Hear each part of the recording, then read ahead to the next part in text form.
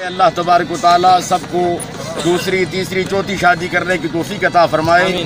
और जो माँ बहनें दूसरी शादी से मना करती हैं तो उनको भी तोबा तायब होना चाहिए कि शरीयत का हुक्म है।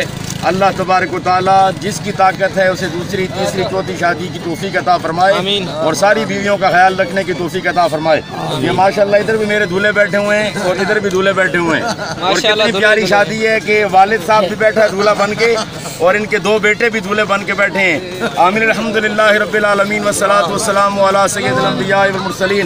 अल्लाह सैदना मौलाना मोहम्मद सैदना मौलाना मोहम्मद मुबारक वसलम सलातों वसलाम या सैदी या रसूल अल्लाह या इलामीन ये खुशी की तकरीब है इन सारे दूल्हों को ज़िंदगी में खुशियाँ आता फरमा।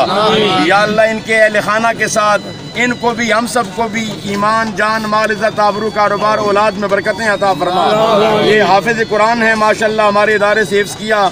इनके वाल साहब की भी दूसरी शादी है इनके तीन चाचों की भी दूसरी शादी है और इनकी भी शादी है। और ये दूल्हे और भी इनके मामू के बेटे बैठे हैं शादी है या अल्लाह जिनकी बच्चियाँ जवान हैं बच्चे जवान हैं सबको नेक सीरत रिश्ते अता फरमा।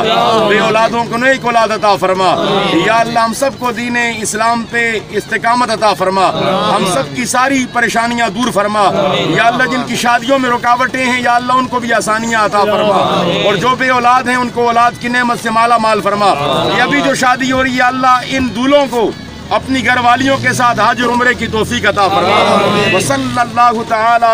खैर खल्क ही मोहम्मद वसाबी अजमाइन।